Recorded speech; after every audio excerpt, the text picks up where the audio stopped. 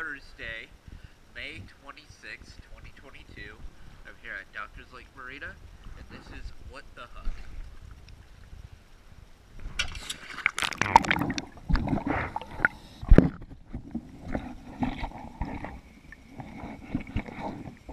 You